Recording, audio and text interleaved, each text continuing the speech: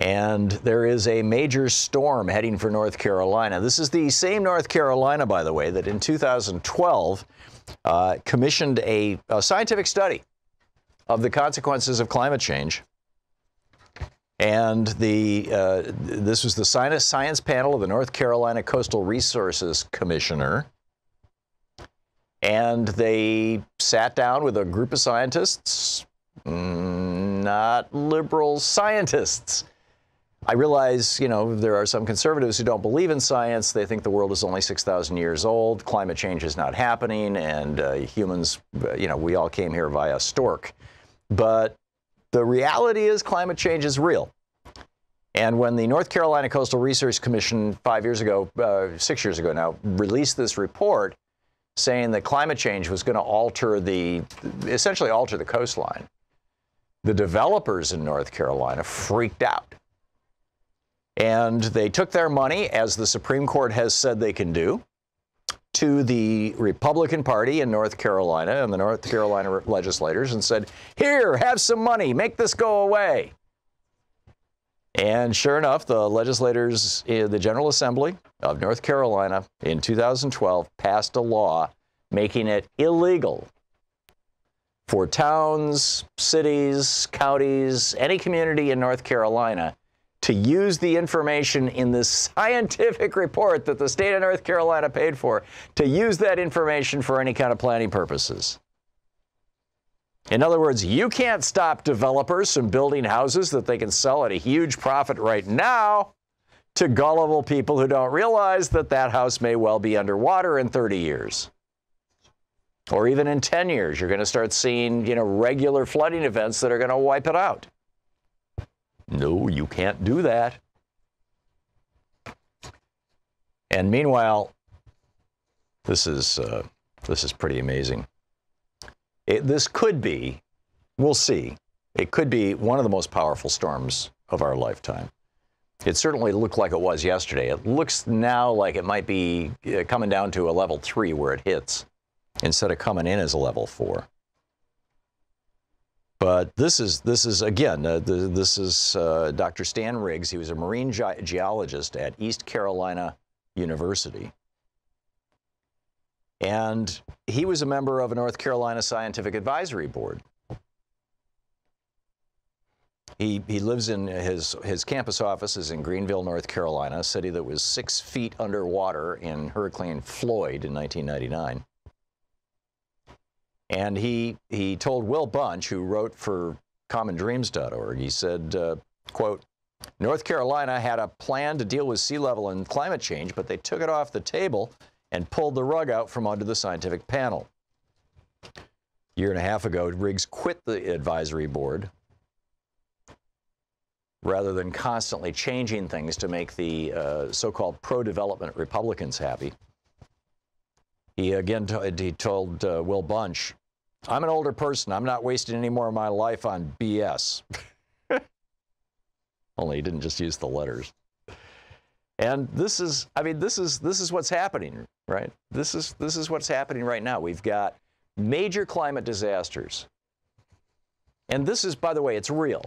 This is from the NASA website. Let's just go to our federal government, right? The NASA website. The website is climate.nasa.gov slash evidence. climate.nasa.gov slash evidence. Scientific evidence for warming of the climate system is unequivocal. It is the result of human activity since the mid 20th century and proceeding at a rate that is unprecedented over decades to millennia. In other words, there has never been a time when the world warmed this fast over a period of tens of years or even thousands of years at least presumably within the context of the lifespan of the human species. Back again to NASA's website, the heat trapping nature of carbon dioxide and other gases was demonstrated in the mid 19th century. The current warming is occurring roughly 10 times faster than the average rate of ice age recovery warming. This is, you know, from 10,000 years ago at the end of the ice age. That was natural climate change we're running 10 times faster than natural climate change that completely altered the face of the planet. Our temperature has risen 1.62 degrees Fahrenheit, 9 tenths of a degree Celsius, since the late 19th century, quoting from the NASA website. Driven largely by increased carbon dioxide and other human made emissions into the atmosphere. Most of the warming occurred in the last 35 years, the five warmest years on record taking place since 2010. 2016 was the warmest year on record. Eight of the 12 months that make up the year from January through September, with the exception of June, were the warmest on record for those respective months. So, and it goes on from there. But obviously, the, the, the, the, climate website at NASA has not been updated since 2016 because Trump came in and said, hey, I'm taking money from developers. I'm taking money from the oil industry. I'm taking money from the fossil fuel industry. The Republican Party is supported in large part by the fuel, fossil fuel industry. So, so what if they're killing us all? It's the same position the Republicans took on asbestos for decades. So what if it's killing people? They give us money. It's the same position Republicans took on tobacco. It's why, you know, seven tobacco executives, or maybe it was five, lied to Congress, lied right to their faces. In fact, the guy they lied to was my senator from Oregon, Ron Wyden. They lied right to his face and said, no, tobacco isn't addictive as far as I know. Right. So why did the Republican Party let the tobacco industry get away with this for so long? Because they were taking their money. You know, every Republican office in the United States should have a red light out in front in the old days when the houses of ill repute had red lights. Yes, we'll do it for money. Climate change, no problem. We'll knock it down for money. Tobacco, no problem. Just give us some money. Fossil fuels, no problem. You know, pipelines, poisoning people, defouling the waters, destroying natural, uh, excuse me, uh, historical sites, indigenous sites. Uh, just give us the money. We'll make it happen. We don't care. We're Republicans. We sell out to whoever gives us the most money. Rush Limbaugh. You know, Ken Vogel did a piece in Politico a couple years ago about how Limbaugh's and, and Hannity and a bunch of the other right wing uh, hosts are literally getting millions of dollars a year, essentially under the table via the Heritage Foundation and other right wing groups. And of course, you know, they're largely funded by the Kochs who are in the business of what? Fossil fuels. And so Limbaugh comes out yesterday. Yeah, the forecast of the destruct destruction potential and gloom is all to heighten the belief in climate change.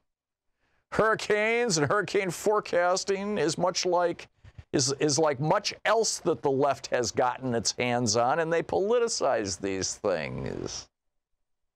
Now, let me get this straight. All the scientists agree, and I mean literally all the scientists agree. People say, oh, it's 98% consensus. If you're looking at actual scientists, actual peer reviewed publications, actual credible scientists, all the scientists agree. Climate change is real and it's being caused by human beings. So when a political party takes money from an industry that is causing a problem, this, the same thing is happening with Big Pharma. We're going to talk about that in, in the second or third hour of the program today. But when a political party decides to take money from an industry and push legislation and policy that is the opposite of what the science says, and then there's shills like Limbaugh come out and, you know, also taking money from these industries. Uh, indirectly, it may be, but still, there it is. And then these shills come out and go, oh, they're trying to politicize this. Those Democrats who want to rely on science, they're just uh, politicizing this issue. I'm sorry, the world is warming. It actually is warming.